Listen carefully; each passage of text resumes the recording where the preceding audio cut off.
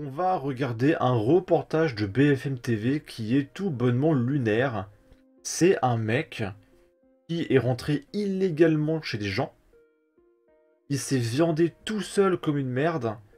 Et il a fini tétraplégique. Et le mec, il a rien trouvé de mieux à faire que d'attaquer en justice la copropriété. Parce que c'est un peu de leur faute quand même, hein, s'il est tombé illégalement chez des gens. Ok? On est à Toulouse, on va regarder ça. C'était il y a 4 ans. Un après-midi d'été, un jeune homme décide de s'introduire illégalement dans cette résidence toulousaine. Il souhaitait profiter de la piscine. Mais ce qui aurait pu être une simple baignade tourne à l'accident. Le squatter rate un plongeon et se brise les vertèbres. Alors, c'est pas une simple baignade. C'est le mec qui est rentré illégalement chez des gens. Ça s'apparente presque à du vol ou à du cambriolage. Donc arrêtez, c'est pas une simple baignade, s'il vous plaît. Et se brise les vertèbres. Il est aujourd'hui tétraplégique. Quatre ans après le drame, le jeune homme a décidé de poursuivre la copropriété en justice. Donc à mon avis, le mec, vu qu'il est tétraplégique, le mec ne peut pas bouger de la journée. Et il s'est dit, bah vu que j'ai rien à foutre, je vais essayer de gagner du pognon et je vais poursuivre en justice les gens que j'ai cambriolés. Voilà. Nous, on avait fait notre part de marché en allant voir ces jeunes, en leur parlant, en leur demandant de quitter les lieux. Donc c'est vrai que c'est un petit peu le deux poids, deux mesures. La situation est dramatique, néanmoins, ce n'est pas notre faute. L'adolescent âgé de 18 ans à l'époque porte plainte pour négligence autour du bassin, un argument non reçu. Donc c'est la faute des propriétaires euh, qui ont été négligents. Alors oui, ils ont été négligents parce qu'ils n'ont pas mis un chien pour bouffer les voleurs. Euh, par contre, c'est pas la faute des propriétaires si le mec euh, est venu illégalement dans une piscine. Négligence autour du bassin, un argument non recevable pour les copropriétaires qui assurent que toutes les précautions sont prises pour éviter les accidents. Dès le mur d'entrée de la piscine, finalement, on retrouve notre panneau de profondeur des bassins qui nous indique euh, de manière très claire euh, la profondeur à 1,08 m ainsi que celle à 2,20 m que vous pourrez retrouver euh, sur le fond de la piscine. Donc là, c'est-à-dire que la propriétaire doit se justifier premier degré sur les normes de sa piscine parce qu'il y a un cambrioleur qui s'est viandé tout seul illégalement chez elle. C'est quand même dingue. Il n'y a, que en France on peut voir ça, ok? Un événement qui soulève à nouveau les questions sur les responsabilités légales des propriétaires face aux squatteurs. Lorsqu'un dommage est survenu sur leur propriété, en particulier en l'espèce, c'est lié à une piscine dans les faits de l'espèce, et ils doivent répondre du dommage qui est causé à la personne qui se blesse euh, lorsque la personne est rentrée, même illégalement, dans les lieux. La Non mais c'est lunaire, mais vraiment. Hein. copropriété devra donc prouver que la piscine était en bon état au moment de l'accident, auquel cas elle devra verser des dommages et intérêts à la victime. Et puis vu que le mec est tétraplégique, les dommages et intérêts, c'est les frais d'hospitalisation sur une vie entière. hein. Donc euh, 500 000 euros, hein, je dis ça comme ça. Ok.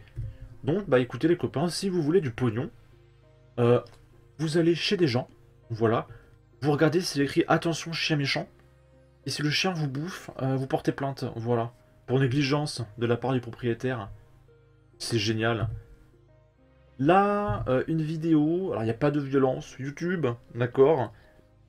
C'est un mec qui va s'en prendre à une commerçante, qui va sortir un couteau, et il va la mettre sur son dos, et lui demander de récupérer du pognon. Il n'y a pas de violence, c'est-à-dire qu'il a juste le couteau sur la dame, il n'y a pas de violence, ok?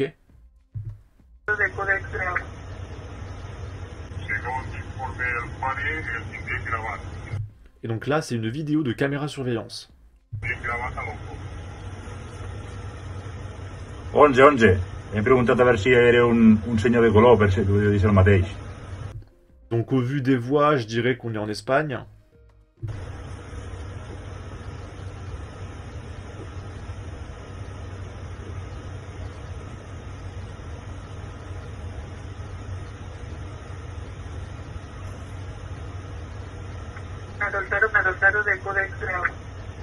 Et là, je pense que cette dame d'extrême droite a dû dire des propos extrêmement racistes à ce pauvre monsieur victime du système qui n'a absolument rien demandé. Et du coup, en toute légitimité, voilà, euh, il a fait usage de la légitime défense, ok?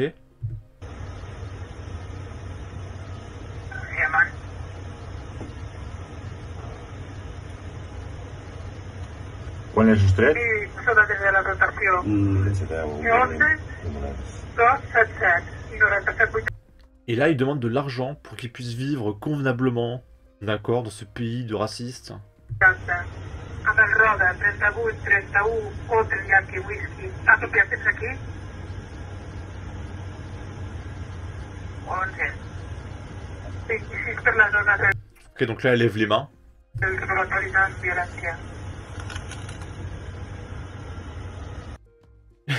Le mec, attends, regardez. Quand il part à la fin, il prend même pas ses courses. Regardez. Là, il se barre. Il prend pas ses courses. Donc, c'est-à-dire que le mec est vraiment venu euh, avec un produit en tant que prétexte pour aller à la caisse pour ensuite s'en prendre à elle. Ok? Ok, ok. Et on va terminer par cet euh, article de Acte 17. On est à Besançon.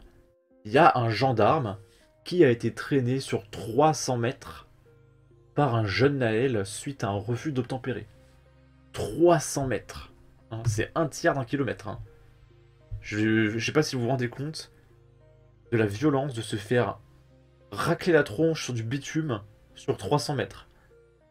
Les gendarmes de l'escadron départemental de la sécurité routière avaient mis en place un dispositif pour procéder à des contrôles de véhicules dans la zone commerciale d'école Valentin, notamment pour arrêter des conducteurs ivres ou sous stupéfiants.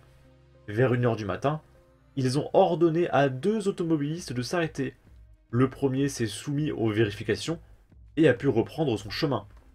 Le second, par contre, a demandé aux gendarmes la raison du contrôle avant de redémarrer brutalement, percutant avec son rétroviseur le militaire qui se trouvait face à lui. Pour éviter de tomber, le gendarme s'est accroché à la portière du véhicule et a été traîné sur plusieurs centaines de mètres. Le chauffard a pris la direction de la RN 57 et le militaire a attendu que la chaussée soit dégagée pour lâcher prise. Une enquête a été ouverte et le chauffard est activement recherché par les forces de l'ordre. Imaginez la peur que t'as. T'es accroché à une bagnole. Le mec il a dû foncer à je sais pas à 100 km à l'heure. Quelle horreur. hein. quelle horreur, quelle horreur, quelle horreur. Ok. Selon les auxiliaires de l'islamisation de la France, LFI, etc., c'est un très très bon gendarme, il n'a pas fait usage de son arme. Cette situation doit satisfaire Jean-Luc Mélenchon et Sandrine Rousseau. 300 mètres, ça fait 6 piscines olympiques, c'est très très long. Ce gendarme est un miraculé. On repense à l'affaire d'Axel Dorier, qui a été tué en 2020 par deux arbres, après avoir été traîné sur 800 mètres. Il faut que ça cesse. Il n'était pas tout seul, les collègues doivent tirer dans les pneus dans ce genre de situation. Alors non. Euh, parce que si tu vises les pneus alors que t'es le collègue qui attaché la voiture, c'est un coup à ce que le collègue se prenne un coup de 12. Donc non. Tu ne tires pas quand ton collègue est à côté de les voitures. Ok. Bref. En tout cas, n'hésitez pas à donner votre avis, votre opinion, partager, liker, commenter, ça aidera au référencement de la vidéo sur YouTube. Abonnez-vous, suivez-moi sur Twitter, prenez soin de vous, salut